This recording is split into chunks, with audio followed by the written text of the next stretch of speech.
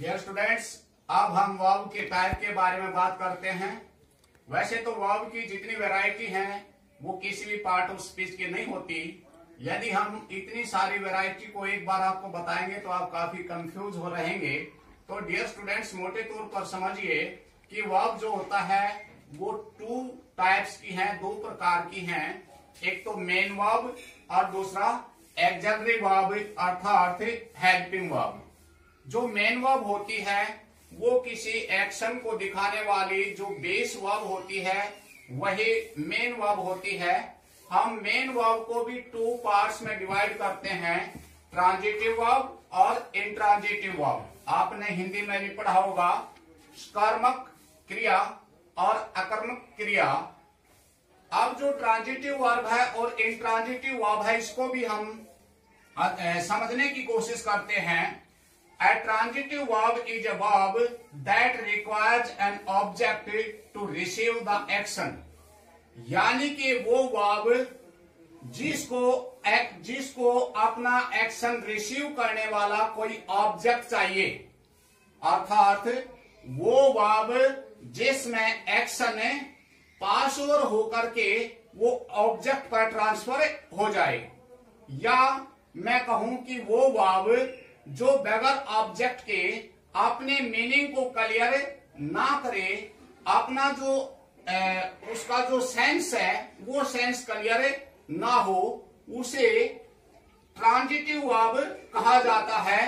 अर्थात वो क्रिया जो ऑब्जेक्ट के साथ आए अर्थात जो ऑब्जेक्ट को अपने साथ ले अपना मीनिंग क्लियर करने के लिए वही ट्रांजिटिव वर्ब कहलाती है। अब यहाँ पर देखिए हमने कुछ एग्ज़ाम्पल लिए। शी रोट डियर स्टूडेंट्स यहाँ पर एक चीज़ नोट कीजिएगा। जब वाट और होम का वाट और होम वाव जब इनका आंसर आपको दे तो समझ लीजिएगा, वो वाव जो है, वो ट्रांजिटिव वाव है। जो वाट और होम का रिप्लाई दे, वो जो है ट्रांजिटिव वाव है। जो वाट और होम का आंसर नहीं दे वो ट्रांजिटिव वर्ब नहीं हो सकती। अब देखिए, हम एग्ज़ाम्पल के द्वारा इसको क्लियर करते हैं। शी रोट उसने लिखा। तो यहाँ पर शी रोट उसने लिखा।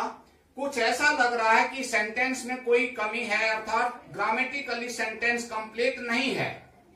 तो यहाँ पर रोट वर्ब ने अपने साथ एक्शन को रिसीव करने वाला एक ऑब्जेक्ट लेना होगा, और सी रोट हमने कहा सी रोट उसने लिखा वट क्या लिखा? तो क्या का जो रिप्लाई यहाँ देगा? तो मीन्स ये वर्ब जो है, वो यहाँ पर ट्रांजिटिव वर्ब हुए। शी रॉट हमने लिखा ए लेटर उसने एक पत्र लिखा। शी रॉट ए लेटर यहाँ पर ए लेटर जो है ऑब्जेक्ट है। और जब तक इस वर्ब रोट ने अपनी एक्शन को रिसीव करने वाला ऑब्जेक्ट नहीं मिला तब तक ये अपने मीनिंग को क्लियर करने में असमर्थ थी। तो यहाँ पर रोड जो है, वो एक ट्रांजिटिव वर्ब हुई, जिसने अपने मीनिंग को क्लियर करने के लिए या ऑब्जेक्ट को लेना पड़ा। सी मेड उसने बनाया वट मेड क्या बनाया उसने? तो यहाँ पर वट का रिप्लाई देने के लिए ऑब्जेक्ट चाहिए। सी मेड ए केक उसने केक बनाया। तो यहाँ पर मेड जो है ट्रांजिटिव वर्ब हुई। द पियन रेंग चपरासी ने बजाया। या बजाई क्या? वट वट रेंग क्या बजाया? मीन्स रेंग रेंग द बेल। चपरासी ने घंटी बजाई। तो यहाँ पर वर्ब रेंग ने ऑब्जेक्ट लेना पड़ा अपने मीनिंग को अपने एक्शन को पास ओवर करने के लिए ट्रांसफ़र करने के लिए इसने ऑब्जेक्ट लेना पड़ा। तो यहाँ पर रेंग एक ट्रांजिटिव वर्ब हुई। प्लीज़ ब्रिंग कृपया लाइए क्या a glass of water a glass of water यहाँ पर बरिंग ने वर्ब बरिंग ने ऑब्जेक्ट लेना पड़ा अपना मीनिंग क्लियर करने के लिए ब्रिंग ट्रांजिटिव वर्ब हुई द टीचर टॉट अध्यापक ने पढ़ाया व्हाट टॉट क्या पढ़ाया टॉट ए स्टोरी अध्यापक ने कहानी पढ़ाई तो यहाँ ए स्टोरी ऑब्जेक्ट लेना पड़ा। टॉट वर्ब ने, तब अपने मीनिंग को इसने क्लियर किया। तो यहाँ पर टॉट एक ट्रांजिटिव वर्ब है। तो डियर स्टूडेंट्स वो वर्ब जो अपने मीनिंग को क्लियर करने के लिए, अपने एक्शन को ऑब्जेक्ट पर जो पास ओवर कर रही है, अर्थात जो ऑब्जेक्ट के बगैर अपने मीनिंग को क्लियर करने में असमर्थ है, वही ट्रांजिटिव वर्ब कहलाती है। अब चलिए intransitive verb the verb use without an object object बगैर ऑब्जेक्ट के यानी कि वो वर्ब जो अपने एक्शन जो बगैर ऑब्जेक्ट के अपने मीनिंग को क्लियर कर दे, उसे इंट्रांजिटिव वर्ब कहा जाता है। यानी उसे अपना मीनिंग कंप्लीट करने के लिए ऑब्जेक्ट की ज़रूरत नहीं होती। सी इज़ लाफिंग वह हंस रही है। अपने सेंस को बिल्कुल क्लियर करता है, अर्थ बिल्कुल स्पष्ट है, क्लियर है, यहाँ पर कोई ऑब्जेक्ट भी नहीं है। तो वर्ब लाफिंग यहाँ पर एक इंट्रांजिटिव वर्ब है। इसने अपने मीनिंग को बताने के लिए ऑब्जेक्ट की ज़रूरत नहीं रही। राधा इज़ डांसिंग राधा नाच रही है। प्लीज़ सीट कृपा बैठिए। ही वेंट वह गया। तो यहाँ पर सिट वेंट डांसिंग लाफिंग एक इंट्रांजिटिव वर्ब के तौर पर यूज़ हुई हैं, क्योंकि ये बगैर ऑब्जेक्ट के अपने मीनिंग को क्लियर कर रही हैं। डियर स्टूडेंट हो सकता है बहुत सारे कहें कि जी इसके पीछे ऑब्जेक्ट भी लग जाएगा, ज़रूर लग जाएगा, लेकिन स्टूडेंट्स ध्यान दीजिए, हमने लिख दिया सी लाफिंग एट मी यहाँ पर हमने इसके पीछे ऑब्जेक्ट ऑब्जेक्ट लगा दिया, लेकिन डियर स्टूडेंट्स ध्यान रखिए, यहाँ पर जो मी है ये एट प्रेपोजिशन का ऑब्जेक्ट है। न कि लाफिंग वर्ब का और प्रेपोजिशन के बाद हमेशा ऑब्जेक्ट आता है। याद रखिए, यहाँ पर जो मी है, वो प्रेपोजिशन एट का। ऑब्जेक्ट है न कि वर्ब लाफिंग का। इसी तरह से Radha is dancing on the stage हम कह सकते हैं, यहाँ पर लगा दिया। ऑन द स्टेज स्टेज पर नाच रही है। लेकिन डियर स्टूडेंट्स यहाँ पर ये द स्टेज जो है वर्ब सॉरी प्रेपोजिशन ऑन का ऑब्जेक्ट है, न कि वर्ब डांसिंग का। इस डांसिंग ने अपने साथ ऑब्जेक्ट लेने की कोई ज़रूरत नहीं अपने मीनिंग को क्लियर करने के लिए। Please set please set in the chair set on the bench यहाँ पर लगा दिया ऑन द बेंच या ऑन द चेयर लेकिन ऑन द बेंच या on the chair preposition on का ऑब्जेक्ट है, न कि सीट का। ही वेंट ही वेंट चलो हमने कह दिया लिख दिया ही वेंट होम वह घर गया। होम एक नाउन है। अब कह सकते हैं कि जी, ये तो एक नाउन है। ठीक है? और वर्ब के बाद हुआ है तो ऑब्जेक्ट होगा। लेकिन डियर स्टूडेंट्स यहाँ पर याद रखिए, ये होम जो है, वो एक नाउन नहीं है। ये यहाँ पर एक एडवर्ब है।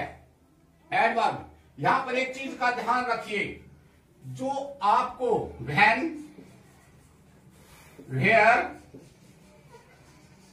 वाई और हाउ जो इनका रिप्लाई देगा adverb of time adverb of place adverb of reason adverb of manner ये जो होते हैं, ये एडवर्ब होते हैं, ये अब यहाँ पर देखिए ही वेंट हमने इसके साथ लगा करके देखा वट कोई आंसर नहीं।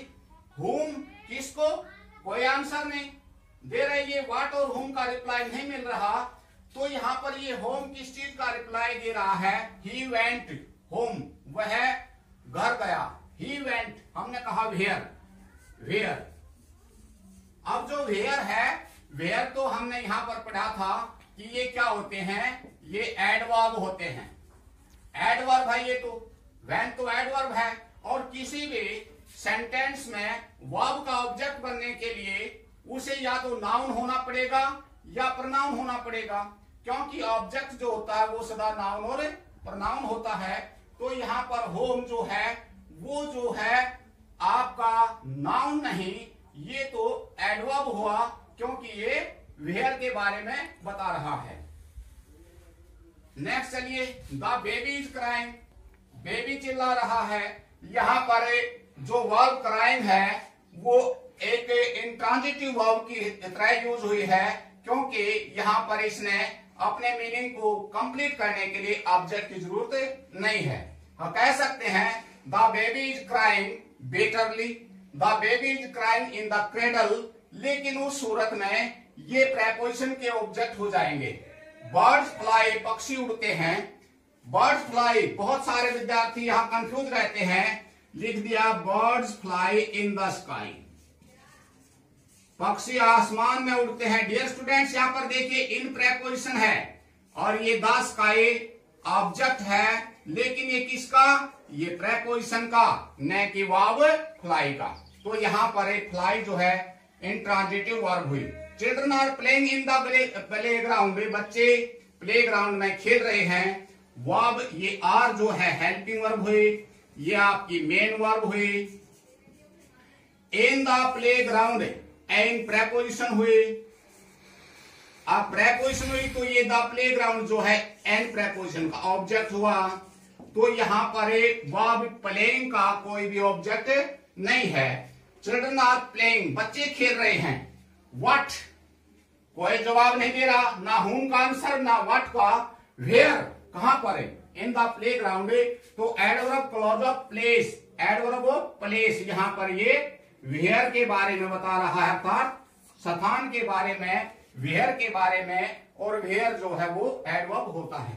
डियर स्टूडेंट्स कुछ वर्ब ऐसी भी होती हैं जो ट्रांजिटिव और इंट्रांजिटिव दोनों तरह से यूज़ हो सकती हैं। जैसे यहाँ पर देखिए द बेल रैंग घंटे बजी। यहाँ पर बेल द बेल नाउन और ये वाब और अपने अर्थ को, अपना मीनिंग क्लियर है। द बेल रैंग घंटे बजे। इसके बाद कोई भी ऑब्जेक्ट नहीं। अपने मीनिंग को क्लियर कर रही है। बगैर इसको बगैर ऑब्जेक्ट के, यानी कि इसके एक्शन को रिसीव करने वाला ऑब्जेक्ट नहीं है, फिर भी ये अपने अर्थ को क्लियर करती है। तो ये ट्रांजिटिव वर्ब ये हुई इंट्रांजिटिव अब देखिए। द पियन रेंग, चपरासी ने बजाया, या बजाई वट क्या? The bell. घंटी, यहाँ पर ये द बेल ऑब्जेक्ट है, यहाँ पर रैंक जो वर्ब है, इसका एक्शन पास ओवर हो रहा है ऑब्जेक्ट के ऊपर अर्थात ऑब्जेक्ट इसके एक्शन को रिसीव करने वाला है तो यहाँ पर रेंग जो है, वो ट्रांजिटिव वर्ब है, जबकि रेंग ऊपरले सेंटेंस में इंट्रांजिटिव थी। इसी तरह से देखिए, राहुल स्पीक्स लाउडली लाउडली बोलता है, ये लाउडली एडवर्ब है, ये ऑब्जेक्ट नहीं क्योंकि ये एडवर्ब है। एडवर्ब का भी एडवर्ब है, यहाँ पर स्पीक जो है वो वर्ब है। अब इसका ऑब्जेक्ट ना होकर के ये तो एडवर्ब है कि वो ऊँचे स्पीक्स लाउडली लाउडली स्पीक करता है। यहाँ पर ये जो वर्ब है, इसने अपना ऑब्जेक्ट लेने की ज़रूरत नहीं अपने मीनिंग को क्लियर करने के लिए। तो यहाँ पर ये इंट्रांजिटिव है। जबकि दूसरे sentence Rahul speaks the truth Rahul speaks what क्या बोलता है?